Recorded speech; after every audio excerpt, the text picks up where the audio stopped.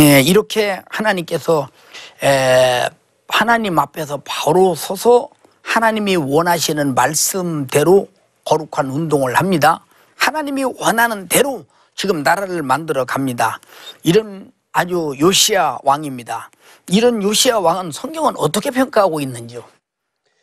네, 열왕기하 22장, 23장, 또 역대하 34장, 35장에서 요시아 왕의 업적들을 소개하고 또 평가하고 있는데 어, 몇 가지 그 기억에 남았으면 하는 그러한 또 우리의 삶에도 적용했으면 하는 그러한 표현들이 있습니다. 첫째는 여호와 보시기에 정직히 행한 왕이다. 둘째는 조상 다윗의 모든 길로 행했다. 세 번째는 좌로나 우로나 치우치지 않았다. 앞에 두 가지는 히스기야 왕에게도 이러한 칭찬을 했습니다.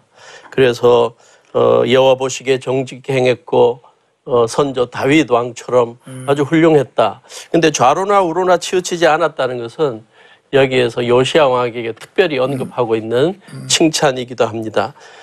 또한 요시아 왕의 평가에 대해서는 특이한 점은 다른 왕들은 그 왕의 업적을 소개하는 처음에 언급을 하거나 맨 마지막에 한 번 언급을 하는데 이 요시아 왕은 처음에도 언급하고 끝에도 언급을 합니다. 처음에도 칭찬을 해서 요시아 왕에 대해서 더 주의를 기울이게 하고 끝에도 언급하는데 끝에는 이러한 표현이 있습니다. 요시아와 같이 마음을 다하며 뜻을 다하며 힘을 다하며 모세의 율법을 따라 여호와께로 돌이킨 왕은 요시아 전에도 없었고 후에도 그와 같은 자가 없었더라.